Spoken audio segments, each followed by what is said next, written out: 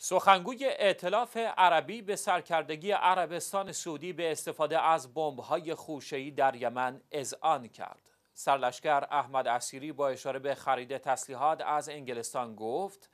عربستان سعودی با خرید سلاح در صدد تقویت توان نظامی خود بوده و انگلستان نیز از این راه کسب درآمد می کند. اسیری که در گفتگو با بی بی سی سخن می گفت افزود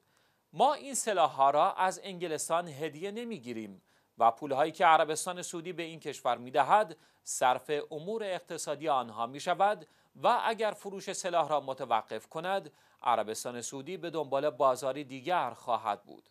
این سرلشکر ارتش عربستان سعودی در پاسخ به سوالی درباره مانع تراشی برای ارسال کمک های بشردوستانه به یمن مدعی شد که این ائتلاف کامیون های حامل کمک های بشردوستانه را از مناطق تحت تسلط حوسی ها بازگرداند تا از قاچاق سلاح برای حوسی ها جلوگیری کند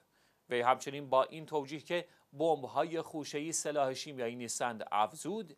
این سلاح ها ممنوعه نیستند بلکه به عنوان بخشی از توان نظامی به حساب می آیند و نیروی هوایی کشورهای سراسر دنیا از آن استفاده می کنند. این مقام نظامی در پاسخ به اعمال فشار عربستان سعودی بر انگلیس برای فروش سلاح گفت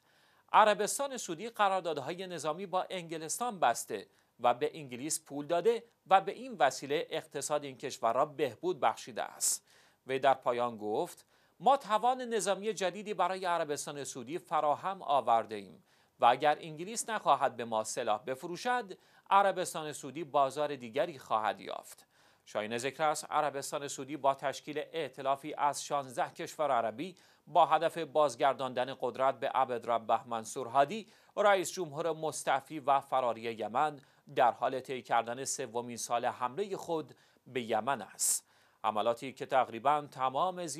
های این فقیرترین کشور عربی را از بین برده و ده ها هزار تن از مردم این کشور را به خاک و خون کشیده است.